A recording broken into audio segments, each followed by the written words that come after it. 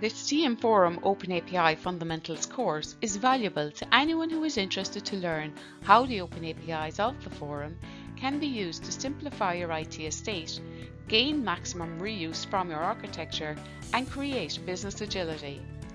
This training course will provide all of the information that you need to start using the Forum Open APIs.